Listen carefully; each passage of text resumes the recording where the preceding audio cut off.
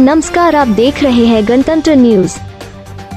कैलाझरिया स्थित एसबीआई शाखा से कैश लेकर पाबिया जा रहे सीएसपी संचालक पवन कुमार मंडल से बदमाशों ने लुटे दो लाख सत्तर हज़ार रूपए जाँच में जुटी पुलिस। पवन कुमार से पूछताछ करने के बाद पवन ने बताया, एसबीआई शाखा कैलाझरिया से पाबिया लौटने के क्रम में चार बदमाशों ने रानीडीह के पास बाइक ओवरटेक करके पवन को रोका। फिर बदमाशों ने मिलकर पवन पर हमला कर दिया। उस दौरान पवन के सिर फट गए। जब पवन चिल्लाए, तब आसपास के आदमी आवाज़ सुन सुनकर घटना की ओर आने लगे, तभी बदमाशों ने आदमियों को देखकर पवन से दो लाख सत्तर हज़ार तथा पवन का मोबाइल लेकर फरार हो गए। पुलिस मामले की जाँच करने में जुटी है। संवाददाता अमरनाथ गणतंत्र न्यूज़।